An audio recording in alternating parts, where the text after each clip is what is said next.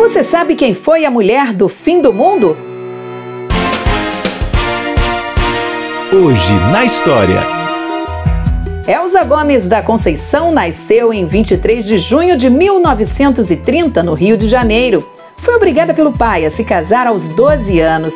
Casada, virou Elza Soares. Com este nome, que esta mulher extravagante de voz rouca se transformou num dos nomes mais conhecidos da nossa música.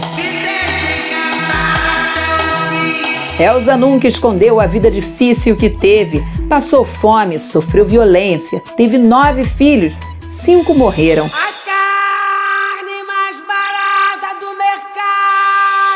Elsa apaixonou-se por Garrincha, uma relação marcada por agressões.